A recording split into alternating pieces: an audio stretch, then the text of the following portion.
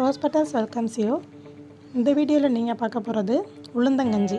எப்படி சரியான முறையில் செய்கிறதுன்னு நான் சொல்கிறேன் வீடியோவை ஸ்கிப் பண்ணாமல் ஃபுல்லாக பாருங்கள்